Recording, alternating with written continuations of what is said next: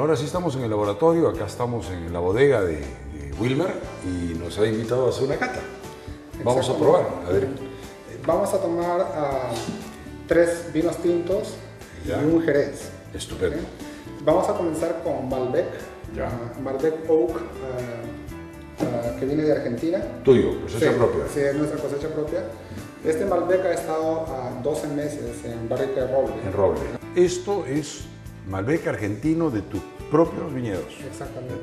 en San Juan, Argentina. Mendoza. En San Juan, Argentina. Exacto.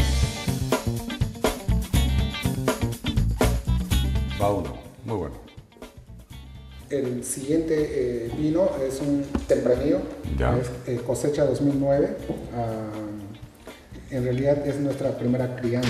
Y, eh, lo que estamos tratando de hacer es lo que hacen los españoles allá en, en España. ¿no? O sea, en nuestro caso es un año en barrica de roble, francés en este caso, y un año en, eh, eh, criándose en botella.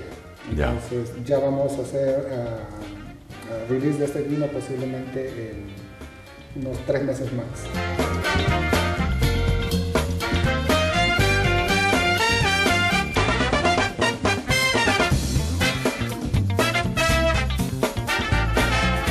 Sí, pero mordible, o sea.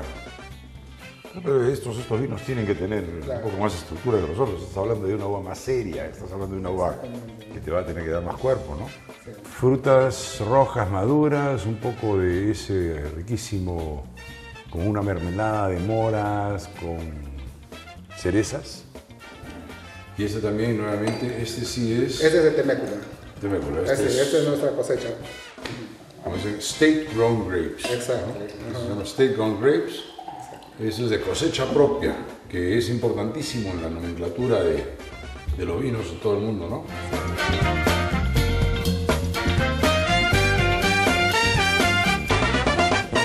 Entonces, ahora ah, vamos a probar, ah, yo diría que es eh, un vino fortificado muy interesante. La uva se llama Rosa de Perú. Rosa de Perú. Exactamente. Y pues Rosa de Perú es una uva que tiene sus orígenes en, en las Islas Canarias. Cuando los españoles llegaron a América, trajeron con ellos esta uva. Entonces se han hecho estudios de eh, ciertos eh, científicos españoles que han identificado que esta cepa eh, tiene relación con la uva misión. que es la negra criolla, que es el origen de todo el vino y evidentemente todo el pisco.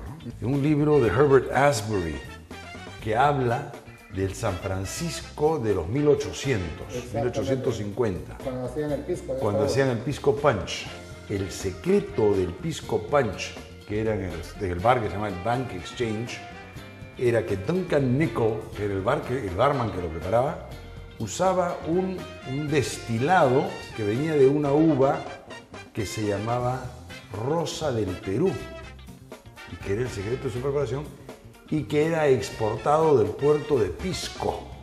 Nuestros primeros piscos, los primeros piscos que llegaron a San Francisco, estaban hechos con una uva que se llamaba Rosa del Perú.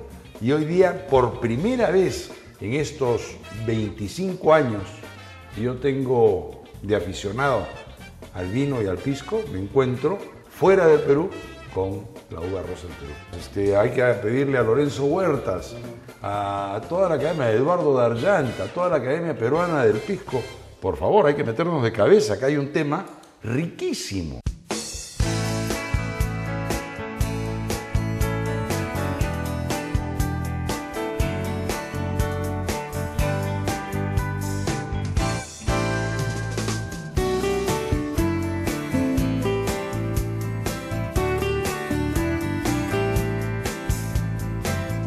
Yo me emociono siempre cuando en estos viajes encuentro a compatriotas nuestros, peruanos, que verdaderamente hacen las cosas con mucho, con mucho orgullo, con mucho cariño y con siempre adelante, así en el pecho, llevando el bicolor, la bandera nuestra, el Perú. Con mucho orgullo y encima hoy día un regalo, un obsequio como este, ¿no? Tomar un vino, un sherry, un jerez, rosa del Perú, a mí me, me emociona sobremanera porque es parte de todo este rescate de la historia que el Perú está haciendo. dos peruanos maravillosos, dos médicos, salen del Perú, se vienen a Estados Unidos, ahora tienen bodega en California y bodega en San Juan Mendoza. Qué, orgullo, qué, qué orgullo. Pero vuelvo a decirlo, cuando nosotros hacemos las cosas, las hacemos bien. Gracias. A ustedes. Un gusto tenerte. Salud. Salud. Gracias.